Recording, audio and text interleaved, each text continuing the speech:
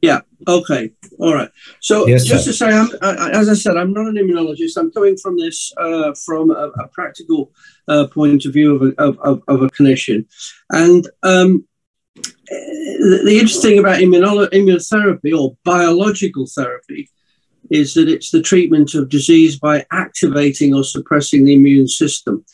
And I think the first thing I'd like to say is that one of the big themes that I took from this meeting uh, the ISPAD meeting, is that in this area, it may well be other forms of treatment and suppression that we should be thinking about. In other words, we're all focusing on suppression of the immune system, but there may well be other other areas in the quite immediate future which you'll be thinking about, and I will explain explain that as we as we go along. The other thing I took about is was a revisitation in the meeting of perhaps a more simpler view of what's going on in terms of the cause of type 1 diabetes. Um, and I'll go through this slide in a second because it's quite quite complicated.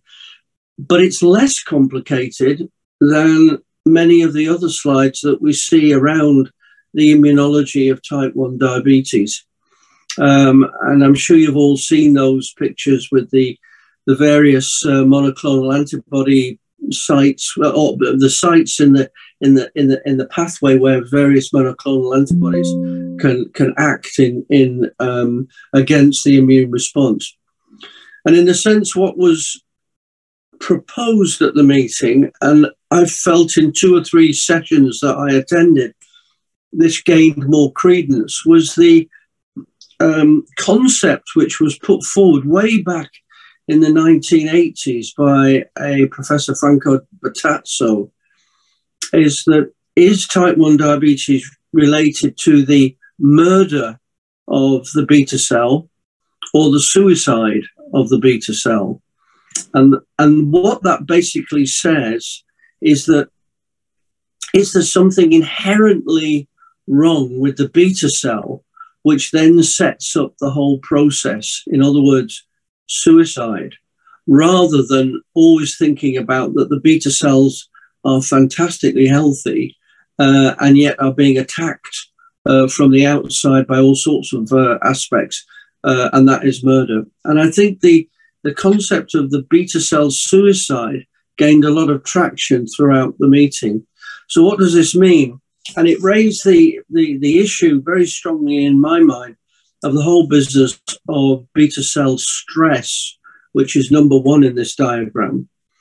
And one thing that uh, the ISPAD meeting really opened up to my eyes that I hadn't quite registered before is that the beta cell in the pancreas is one of the most metabolically active cells in the body and therefore, it, in a sense, I mean, it's, it's hard. To, it's hard not to think of this in mechanistic terms, but you, you can't really think of it in mechanistic terms. But any stress on that on that cell, any damage to the mechanisms within that cell, is reflected in in a poor function. And so, if you get an increased metabolic demand of the beta cell, and that might be caused by all sorts of things. We don't know what that triggering event is. It may be nutrients, it may be chemicals, uh, it may be viruses. Um, but there obviously does seem to have been in the last 40, 50 years something external to the beta cell which has produced that drive because we've seen underlying the rise in type 2 diabetes we've seen the underlying rise in, in so called type 1 diabetes. So you've got an increased metabolic demand, and that results in endoplasmic reticulum and oxidative stress. And the beta cell gets ill, gets wobbly, gets poor function. And because of that, internal chemicals start to leak out of the cell. You get chemokine released by the beta cell. That's number two. Then number three, that sets up the attraction of the immune cells, such as the macrophages and the T cells, and induces the autoantibody production. And then you get islet damage from those, the insulinitis, which, which develops, and you get the T cell interactions, the antibody release uh, directly through the release of the inflammatory cytokines, reactive oxygen species. and then you get further endoplasmic and oxidative stress. And you can then see with the islet cell damage that you've got this cycle of, of uh, stress, damage, response from the from the body, which unfortunately produces more damage, and you go into a viral a spin. At the same time, it sends off the apoptosis pathways in number five, and you get inability to restore this homeostasis, and that's what leads to cell death. Now, I think that's a much simpler model to think about, but it's also, I think, probably the correct model. I think we've been, and this is one thing I took away from the meeting strongly, was that uh, we've been lulled into a view that everything is driven by the antibodies. The antibodies that are produced in the diabetes are in response to the damage. They're actually the body trying to repair the situation to a degree. They're trying to stop the attack by the T cells and the macrophages. But obviously, you then get into a flat spin and you get into this cycle of death and destruction. Uh, so it's it's uh, to me a much more simple model, and I favour very much from this meeting the concept that it's beta cell suicide. So move on to the next one. So this this this sort of picture came up several times from from everybody. This the the disease progression of type one, which we're all beginning to now use quite um, quite frequently. The, the the stages. So you've got pre-stage one stage one, uh, stage one itself, stage two, stage three. So in pre-stage one, you you have the presence of antibodies, and you probably have beta cell loss, but that's very difficult to measure, certainly in uh, human subjects. Um, and one of the messages I took from uh, the ISPAD meeting was uh, in one of the presentations was that uh, and I'll come on to this in a, in a minute, in different types of type 1 diabetes, maybe a lot of people still have quite a lot of functioning beta cell mass present. The problem is that the function is not very, very, very good. So there is this concept between beta cell mass and beta cell function. So when you talk about loss, is it mass or is it function? And it's difficult to work that out sometimes. You might get some so-called uh, disc dysglycemia, but not really in pre-stage one. This is all all normal uh, um, um, uh, uh, physiology, and then we'll come back to this. That this is a variable. Uh, genetic uh, environmental risk for type 1 diabetes. So here we are. These are the, the people who are going to get diabetes but are perfectly well. They then shift into uh, into stage one, and they have antibodies. They may have some beta cell loss, but as I say, it's difficult to work out that exact uh, uh, amount. They haven't got dysglycemia, so their blood glucose control is normal, and they're asymptomatic. Stage two then gets into the hyperglycemic phase. So these are the uh, the, the, children, the young adult, adolescents, the adults who have uh, slightly raised fasting blood glucoses, have a high postprandial blood glucose, uh, and will have a, an elevated glycosylated hemoglobin.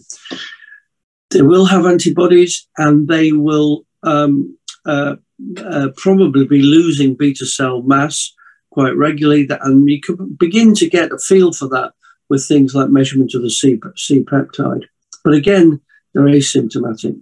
And then at this point here, they are diagnosed as diabetes. They've obviously had developing diabetes at this point, but the clinical symptoms that we all recognize, the classical clinical symptoms, start to come in, and uh, you've got uh, persistent hyperglycemia.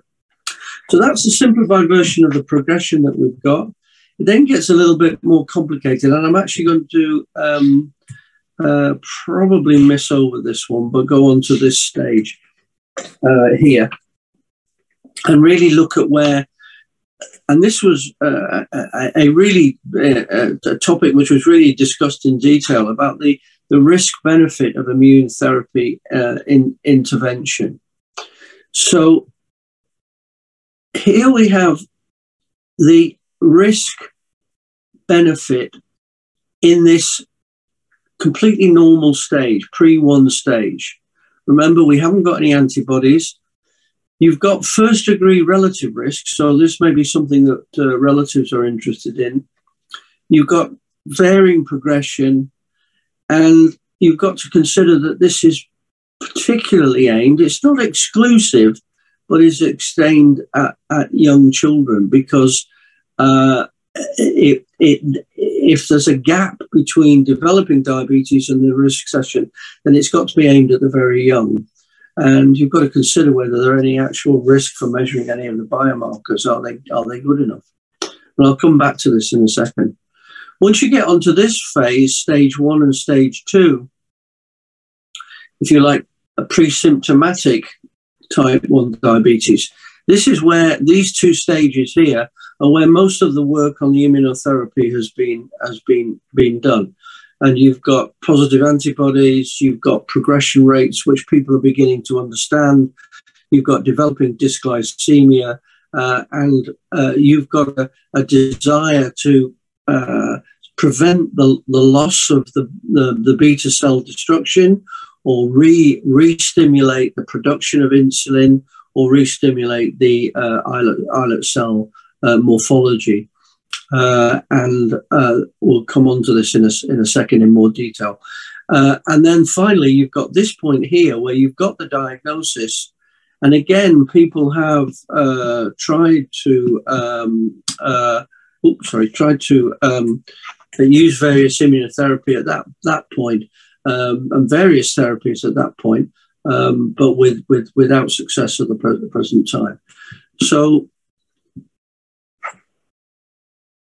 What sort of therapies are going to use? There's lots of different sorts of things. I think we're fixated on the concept of monoclonal antibodies at the present time, but there are all sorts of uh, uh, studies being going on in a whole variety of, of uh, immunotherapy. But I would point out that that this may not be the the exclusive track that you should go down. In fact, I think very strongly that came out of a very good workshop discussion in the meeting is that this is not the case at all. We're going to have to look probably at combination therapy uh, and not just of um, preventing the immune reaction, the secondary immune reaction, but actually trying to think about how you can reduce the beta cell stress, the metabolic and ER stress, which is developing. So there's a lot of work going to come out on that over the next few few years. Um, just as a, po- a, point on this, the the example of what's gone on in the cancer world uh, was was raised, and in the sense that we could learn a lot from the way that the cancer people have developed their immune therapy programs. Um, and uh, uh, the way that they've used combination therapy and other sorts of therapy to go go along with direct immune therapy. So to finish with, we talked about the clinical prevention trials. And if you like, what you're trying to do is identify this person. This person's got the disease, but in this person uh, and the, the blues, possibly, they're going to go on to get diabetes eventually. And so there's an enormous individual variation between who is designated to get diabetes and the speed with which they then go on to get diabetes. And one of the major themes that was discussed in the meeting was the heterogeneity of type 1 diabetes and the fact that we now have a whole series of endotypes of diabetes. And I think that any clinical prevention trial has to take this on board now. So we're beginning to see that some people the two year old or three year old with diabetes is probably metabolically and immunologically very different in terms of their beta cell functioning uh, to the 15 year old who gets diabetes, and certainly to the 25 and 35 year old that gets diabetes. What are we trying to achieve in these prevention trials? Well, that's also a, a good question. Is it that we're trying to look for complete cure? Probably that's what the patients want, obviously, but is it possible? Probably not. So, what we're more interested in is looking at the rate of progression to clinical onset uh, in prevention and actually maintaining some of the beta cell function or beta cell mass uh, after the after the um, uh, the therapy. So that's also again uh, quite important. The, these are the, the clinical trials which have gone to stage three, and since the Abu Dhabi meeting finished, uh, and in fact, this week there was uh, an acceptance from um, NIH in America uh, that the uh, teplizumab anti CD3 monoclonal uh, has been released uh, for clinical use. It's been in uh, um, clinical development research for last oh, 10 years, I think. Uh, but, and there was a bit of a hold on it last year after the stage three trial, but they looked at the evidence and they um, uh, have accepted that uh, this can be used as uh, the first vehicle for uh, prevention of diabetes. But I just want to say that no study has confirmed complete long term reduction in clinical diabetes. And neither that had teplizumab. So they've only looked up to two years. They've not looked beyond up to five or 10 years. And that's going to be interesting to see what those follow up studies uh, are, are, going to uh, suggest. I'm just going to finish with one major point, which was uh, if you like, I think avoided at ISPAD. It was like the elephant in, in the room, which nobody wanted to talk about. The vast majority of around the world are picking up people with diabetes at diagnosis. And the vast majority of, of uh, health services in the world are not thinking about de- early detection of pre-diabetes. And I think there's a paradox there because all these the only successful study, and teplizumab is probably the only one at the moment, is all about pre-diabetes. And so some countries, there were very few, there was discussion from people from Sweden, uh, people from the UK, are setting up screening programs, potentially looking at the combination of genetic analysis, genetic risk factors, together with antibody measurements, C peptide, etc. But we're, uh, to give an example from the UK, we're a long, long way from doing this. And there was a very good debate on this in, in ISPAD as to how this will be taken up by countries, how effective it will be, effective it will be, and how useful for then using immunotherapy. And the overall answer came was that people are very skeptical about, about this approach at the present time. Now, it may well change as the uh, data comes through from these countries about their pre diabetes screening programs, uh, using the combination of neonatal screening uh, information together with later screening uh, uh, through the school system, etc but it's a long, long, long way down the road. So for the person who gets diabetes, there is, to me, sadly, a, a great uh, void at the moment of saying, well, can we actually really change the nature of the beta cell destruction at that point? And given the fact that the heterogeneity of type 1 diabetes uh, is there, that may be a fruit, much more fruitful area to go down using the different concepts of what therapy we might might use, which is why I go back to this whole business of maybe there should be more emphasis on the on the uh, morphology and the pathophysiology of the beta cell itself. So I'll leave it there. Um, I'm delighted to ask questions.